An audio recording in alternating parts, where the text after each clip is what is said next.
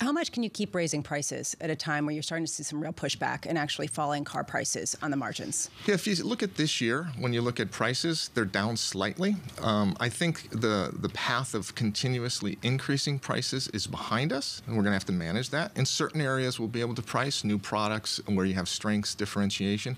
But overall, I think the industry's past the the large increases that we saw over the last couple of years, largely driven by inflation. And so now we need to look at affordability and where's affordability for the consumer and manage that very carefully. Do you feel like you have to respond to price cuts that have been reversed by Tesla, but price cuts in the industry just more generally? That there is this competitive momentum downward in terms of trying to cater to a consumer that's borrowing at a pretty high rate relative to history?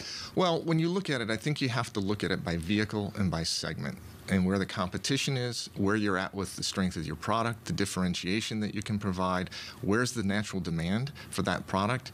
And right now, uh, we have a lot of new product on the road, especially in the uh, blue business as well as the pro business. And what we see there is that with the new product and the differentiation and the iconic brands that we have, we have pricing power and we have high demand. What's the proportion and how has it shifted of cars that are bought in cash rather than credit over the past five years? And I ask this in terms of the haves and the have nots. People with money and cash are buying the cars and fueling the demand, fueling the sales that you're getting, and people on credit are disappearing. We haven't seen a large shift in the mix between cash purchases and purchases through credit. You know, we have a very strong credit company in Ford Credit, and they do a great job working with our customers. And um, what we have is we have a proprietary credit scoring model, and so we'll buy customers that others might say um, aren't aren't purchasable or aren't uh, qualified, and we have a very good record with that.